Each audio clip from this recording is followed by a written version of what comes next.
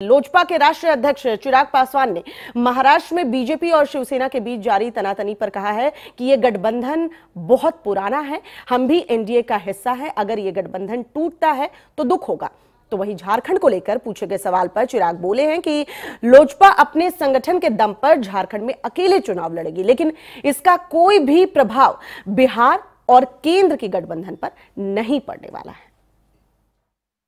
देखिए, कहीं ना कहीं तालमेल का अभाव हुआ है, इसीलिए इस तरीके का दृश्य हम लोगों को देखने को मिल रहा है। बहरहाल, लोक जनशक्ति पार्टी का कोई भी सदस्य उस वक्त मौजूद नहीं था जिस वक्त ये नेगोशिएशन हुआ था, या जिस वक्त उद्धव जी और भारतीय जनता पार्टी के राष्ट्रीय अध्यक्ष, माननीय गृह मंत्री अमित शाह जी की जब बातचीत हुई थी तो उस वक्त हम लोग को सही जानकारी नहीं है कि क्या वादा किया गया था शिवसेना कुछ बातें बोलते हैं भाजपा की तरफ़ से हम लोग को कुछ बातें सुनने को मिली।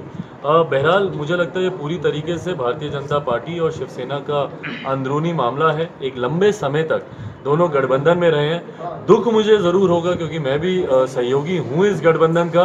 अगर ये गठबंधन टूटता है, जिस तरीके से जानकारी सामने आ रही है, अगर ये गठबंधन टूटता है तो इसका दुख मुझे ज़रूर होगा। लोकतंत्र को भी कहीं ना कहीं इससे चोट पहुंचेगी। कई ऐसी सीटें जो मैंने लिखित रूप में और कई समय पहले मैंने उनको लिखित रूप में भारतीय जनता पार्टी केंद्रीय नेतृत्व के संज्ञान में इन सीटों को हम लोगों ने दे दिया था।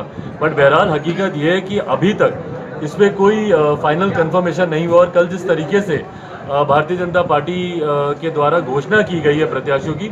उसमें हम लोग की कई ऐसी सीटें उन्होंने पहले से घोषित कर दी हैं। पिछली बार हम लोग को टोकन के तौर पर एक सीट दी गई थी शिकारी पारा की सीट थी। आ, इस बार आ, चर्चा ये हो रही है मेरी जानकारी में भी आ रहा है कि एक दो सीट टोकन के तौर पर हम लोग को देना चाहेंगे जो मैं लेने को तैयार नहीं हूँ। मैं चाहता हूँ कि हम लोग ऐसी सीट लें जहाँ पर हम लोग की तैयारी है हमारे प्रत्याशी पहले से तैयारी कर रहे हैं।